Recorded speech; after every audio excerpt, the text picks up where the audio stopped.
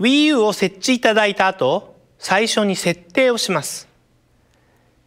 一緒に Wii U で初めて導入されるアカウントと呼ばれる仕組みについてもご説明したいと思います。Wii U をご利用いただくにはまずユーザーアカウントを作成していただく必要があります。ゲーム機は家庭内で複数の人たちで共有されることがよくありますがユーザーアカウントは個々の Wii U プレイヤーごとに作っていただくものです。ユーザーアカウントを Wii U ではユーザーと呼んでいます。1台の Wii U 本体に最大12人までのユーザーを作成することができユーザー用に登録した Me がそのユーザーを表します。Wii U の本体内蔵ソフトや Wii U 用ゲームソフトはユーザーごとにゲームの設定やゲームのセーブデータを記録することができます。ただしファミリーでお楽しみいただくゲームの中には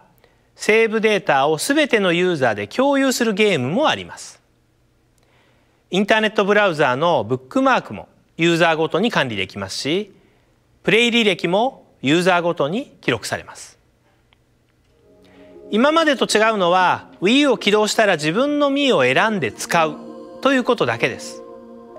これにより他のユーザーのセーブデータなどに影響を与えずに楽しんでいただけます。任天堂 e ショップや Miiverse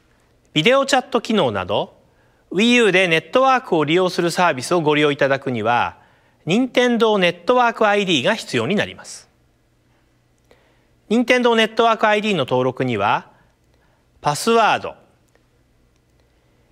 生年月日性別お住まいの地域メールアドレスが必要になります。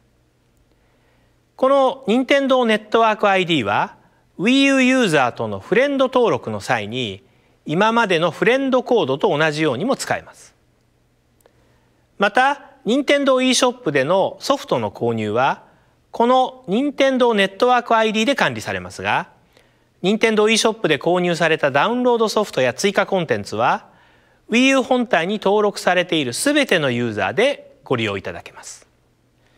また任天堂ネットワークによりソフトメーカーさんが持つさまざまなネットワークサービスと連携することができるようになる予定です。一度任天堂ネットワーク ID と他のネットワークサービスを連携するよう設定していただくことでソフトメーカーさんが提供する各種サービスを任天堂ネットワーク ID 単位で利用いただくことができます。将来この任天堂ネットワーク ID は Wii U だけでなく今後任天堂が発売するさまざまなハードウェアでも継続してお使いいただけるようにする予定です。また任天堂ネットワーク ID は任天堂のゲームデバイス以外の機器からの利用も予定しています。来年には PC やスマートフォンからも任天堂ネットワーク ID を利用して任天堂 e ショップや Miiverse などのサービスを利用することができるようになる予定です。Wii U でネットワークを利用する本体機能の多くは発売日当日から配信するネットワークアップデートで本体を更新いただくことで利用できるようになります。アップデートするプログラムやデータの容量がかなり大きくなりましたので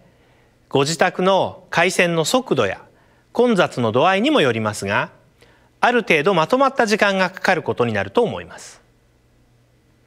Wii U はインターネットに接続いただくことで進化を発揮するゲーム機ですし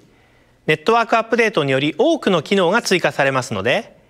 皆さんのお手を煩わすことになり申し訳ありませんがよろしくお願いします。また今まで Wii をお使いだった皆さんは WiiU に Wii にダウンロードしていたバーチャルコンソールや WiiWare のようなソフトやセーブデータを引っ越していただくことができます。